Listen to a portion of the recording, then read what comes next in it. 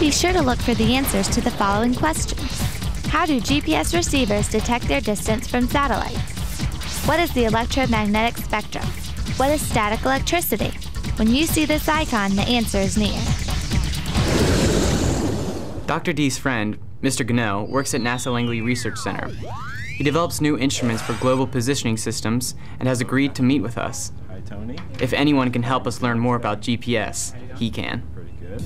GPS, or Global Positioning System, is a constellation system of 29 Earth orbiting satellites that were originally designed by the U.S. military in the 1970s as a navigation system. 29 sounds like a lot of satellites. Why do you need so many? It takes 24 satellites to provide global coverage, leaving five spares. The orbits are arranged so that at any given time, anywhere on Earth, there are at least four satellites visible.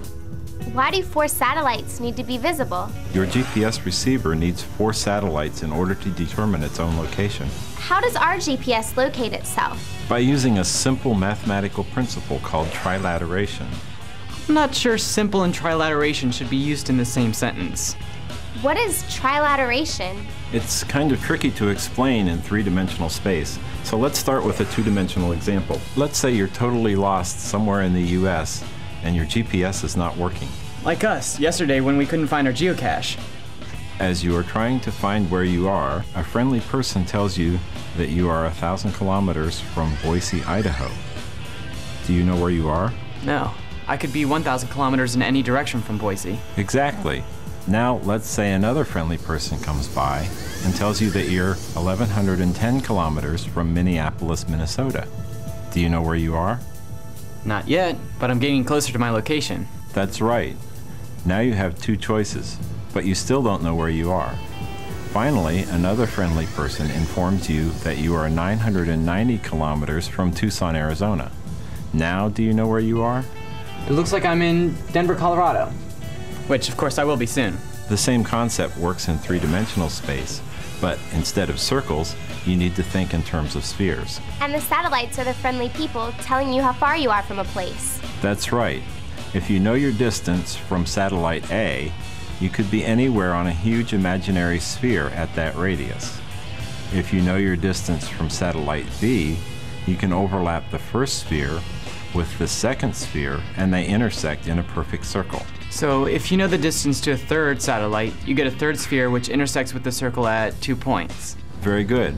And the Earth acts as the fourth sphere, so you can eliminate the point in space because you're on Earth. So, do you only need three satellites? An approximate position can be found with three satellites, but to improve accuracy and get precise altitude information, four or more are better. How do GPS receivers know how far they are from the satellite? They analyze the high frequency, low powered radio signals from the GPS satellites and calculate the time the signal traveled. Do satellites have stopwatches? No, the satellites need to be more accurate than a stopwatch.